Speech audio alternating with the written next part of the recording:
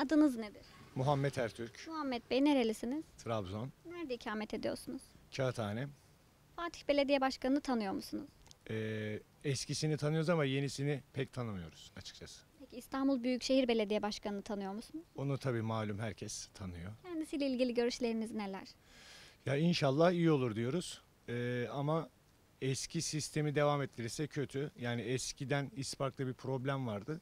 Biz bunu belediyeye kaç kere beyaz masaya şikayette bulunduk. Hatta ben ispatlayayım dedim. Gelin katlı otoparkta göstereyim sıkıntıyı.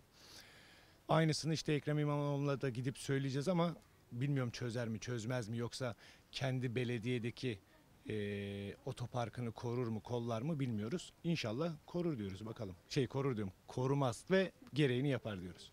Peki Fatih Belediyesi'ne gösterebileceğiniz örnek bir belediye var mı? Örnek bir belediye. Valla İstanbul'da belediye pek yok. Hiçbirini sevmiyorum desem yeridir. Çünkü belediyeler hep kendi çıkarları uğruna bir şeyler yapıyorlar. Kızıyoruz bu yüzden de. Ee, düzelir mi düzelmez mi bilmiyoruz ama bir yere kadar yani seçim başına kadar hep vaatler var. Seçimden sonra bu vaatler unutuluyor. Son olarak Fatih Belediye Başkanı'na vermek istediğiniz mesaj veya talep var mı? Dediğim gibi işte ben en çok bu İspark'tan e, mağdurum diyeyim. Hatta onu da söyleyeyim konuyu belki araştırırlar. E, Mercan'da katlı otopark var. Bu Mercan katlı otoparkın diyelim ki bin tane araç kapasiteli yeri var ve hepsi çizgili bir şekilde belirlenmiş. Ama gittiğinizde orada bin tane değil de 1100 tane araba var. Arabaların önüne araba park ediyorlar.